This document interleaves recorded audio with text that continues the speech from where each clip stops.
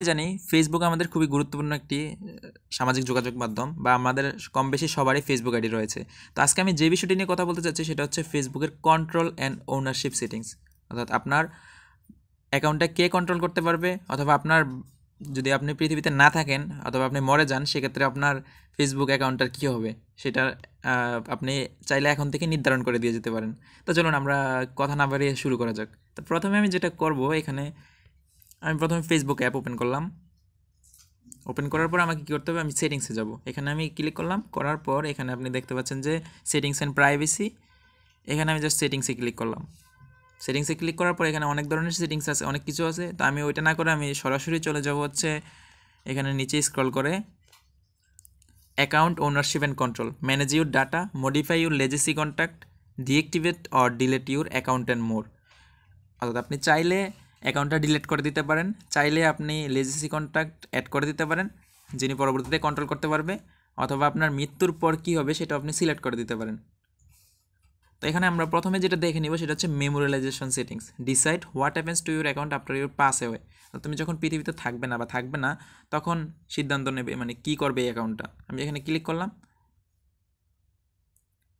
Click করার পর এখানে আসছে in order to protect your account security Facebook memorialise accounts অর্থাৎ কি মেমোরিয়ালাইজ থাকবে নাকি লেজেসি কন্ট্যাক্ট নাকি ডিলিট করে দিব? আমাকে এখানে চুজ করতে হবে। Choose someone to manage your profile after you pass away they can help let friends and family know about details such as memorial service. You can also tell them your wishes about how long to keep your account open and they can delete it after that time. অর্থাৎ আমি এরকম একজনকে select করে দিয়ে গেলাম, বা আমার friend বা ফ্যামিলির কেউ, যে আমি পৃথিবীতে না থাকলেও বা না যে কোনো একটা কিছু হয়ে গেলেও আমার অ্যাকাউন্টটা যাতে তারা কন্ট্রোল করতে পারে। চোজ লেজেসি কন্ট্যাক্ট এখানে আমি লেজেসি কন্ট্যাক্ট করে দিতে পারব। এখানে নেক্সটে যাওয়ার পরে আমি এখানে যে কোনো একটা ফ্রেন্ডকে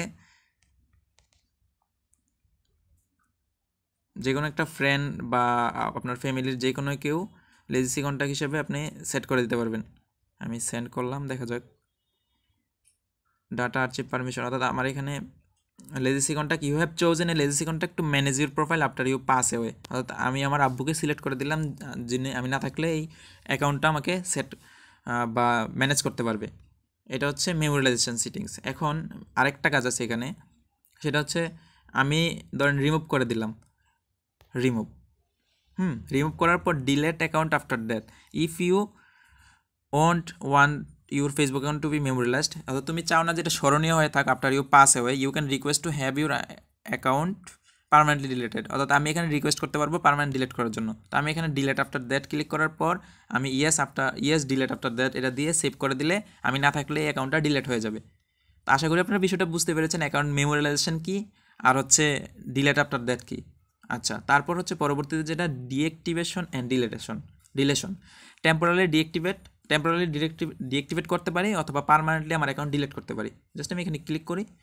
ক্লিক করার পর এখানে ডিএক্টিভেট অ্যাকাউন্টে ক্লিক করে, যদি ডিএক্টিভেট হয় জাস্ট ক্লিক করে continue to account deactivation deactivation এখানে আমার পাসওয়ার্ড দিয়ে কন্টিনিউ দিলে আমার অ্যাকাউন্ট ডিএক্টিভেশন হয়ে যাবে।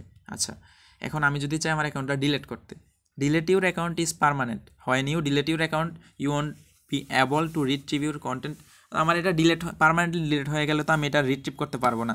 আমি যদি ডিলেট করতে চাই, তাহলে কন্টিনিউ টু অ্যাকাউন্ট ডিলেশন এখানে ক্লিক করার পর আপনি চাইলে ডাউনলোড ইনফরমেশন করে রাখতে পারেন।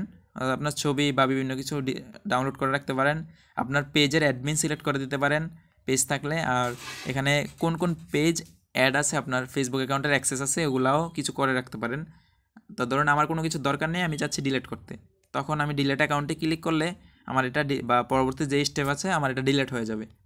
আচ্ছা তো আমরা কি কি দেখলাম? মেমোরিয়ালাইজ সিটিংস আমি চাইলে স্মরণীয় করে রাখতে পারি, অথবা আমি চাইলে আমার মৃত্যুর পর অ্যাকাউন্ট ডিলিট করে দিতে পারি। আচ্ছা অথবা আমি নিজেও ডিলিট করে দিতে পারি, অথবা ডিএক্টিভেট করতে পারি। তারপর হচ্ছে manage your information manage your ইনফরমেশনের মধ্যে আপনি এখানে আপনার ফেসবুকের যে ডাটাগুলো আছে, এগুলো আপনি ম্যানেজ করতে পারেন, চাইলে। বিভিন্ন পোস্ট বা যেগুলো আছে আচ্ছা ওটা অত বেশি গুরুত্বপূর্ণ না। তো আপনাদের যে দুইটা বিষয় দেখালাম, আশা করি বিষয়গুলো বুঝতে পেরেছেন। যদি কোনো সমস্যা থাকে বা কোশ্চেন থাকে, অবশ্যই কমেন্টসে জানাবেন। আর ভিডিওটি ভালো লেগে থাকলে অবশ্যই লাইক করবেন এবং আমার চ্যানেলটি সাবস্ক্রাইব করবেন।